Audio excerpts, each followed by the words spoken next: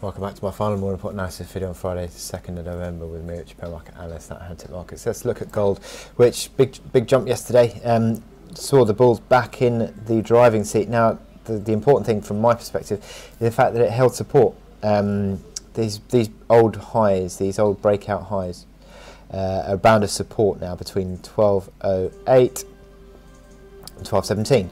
And the fact is that that is a nice little buy zone, and coming with the fact that the low was at 1211 was a really strong move, and I think that that sort of helps to bolster expectations that um, gold is in still recovery mode, um, and um, the fact that uh, weakness is now seen as a chance to buy on gold. But um, you do still need to see gold through 1236. I'll zoom out and you can see the importance of 1236. This old key December 2017 low became supportive back in the summer then broke down and became resistance in July, and it's now still a basis of resistance in October.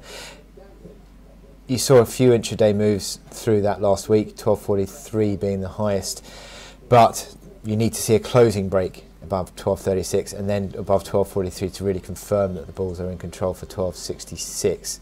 So um, we are still in recovery mode, and the, the, the positioning is still pretty strong, pretty, positive on momentum, um, but you need to see the confirmation of the breakout above 1243 to really suggest that the market is in decisive recovery mode and um, not just in consolidation mode, which it's been in for the last sort of few weeks really.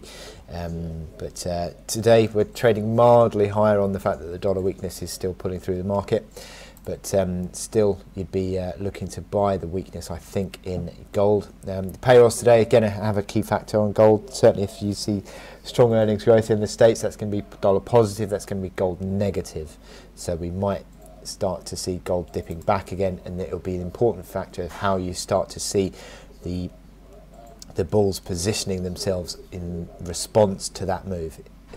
Need to see that hold uh, the support at 12.11 holding in that scenario. So um, I wish you good luck in your trading today and I'll speak to you later.